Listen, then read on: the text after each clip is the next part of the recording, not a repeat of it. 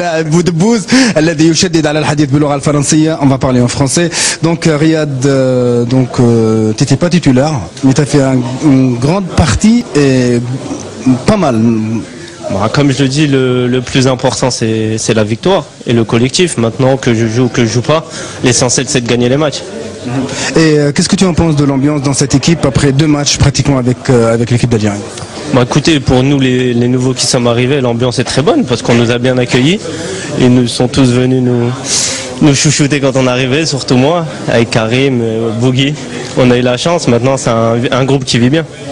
Ok, merci beaucoup euh, Riyad. On a l'un des chevronnés aussi de l'équipe d'Algérie. Euh, Majid, donc euh, t'es rentré, t'es revenu d'une blessure. Comment tu t'es senti d'abord? Ouais, c'était un peu dur physiquement. Ça faisait un mois et demi, j'avais pas eu fait de match. Surtout qu'il faisait chaud. Et euh, moi, l'essentiel, c'est qu'on n'a pas pris de but.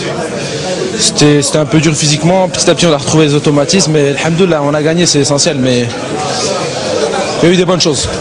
C'est bien pour le moral une, une victoire comme ça avant de partir en Afrique du Sud. Non, c'est clair, alhamdoulilah, c'est bien pour le moral. Et euh, l'essentiel, c'est que tout le monde a joué. Et, euh, et voilà, maintenant on va aller en Afrique du Sud avec un, climat plus froid, donc on aura plus de jus.